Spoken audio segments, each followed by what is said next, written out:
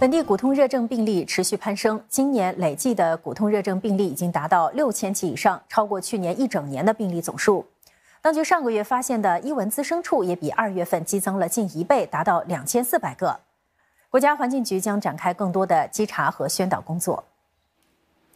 国家环境局文告说，我国上个星期共通报了九百四十一起骨痛热症病例，比前个星期多出了两百零八起。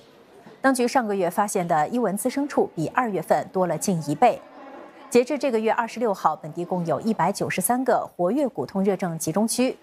尽管当局从年初开始在机构伙伴和社区合作之下，已经清除了三百九十四个骨痛热症集中区，占总数的百分之六十七，但是仍然发现一些地点的伊蚊滋生情况严重。